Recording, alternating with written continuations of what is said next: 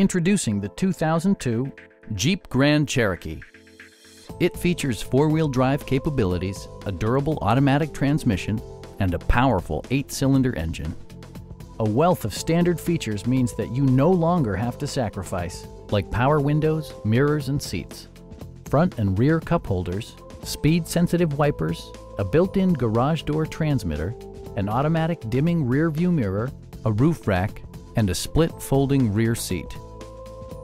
Features such as automatic climate control and leather upholstery prove that economical transportation does not need to be sparsely equipped. Premium sound drives six speakers, providing you and your passengers a sensational audio experience. Please don't hesitate to give us a call